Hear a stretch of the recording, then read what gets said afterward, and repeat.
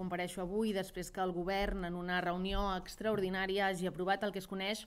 com la llei d'acompanyament dels pressupostos de la Generalitat, l'avantprojecte de llei de mesures fiscals, financeres, administratives i del sector públic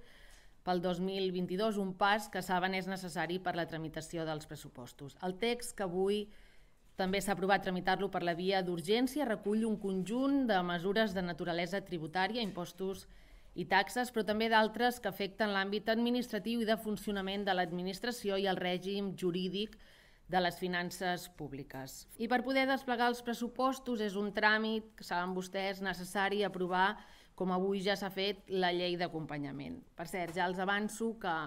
aquest avantprojecte de llei modifica el fins ara habitual tràmit de presentació de pressupostos. S'elimina l'obligatorietat de remetre el pressupost al Parlament abans del 10 d'octubre de cada any, que, com saben, per motius diversos és una data fixada en el calendari que no s'ha complert mai. A partir d'ara s'estableix que el projecte de llei haurà d'entrar al Parlament amb l'antelació suficient perquè pugui entrar en vigor l'1 de gener de l'any següent, però no es fixa una data concreta.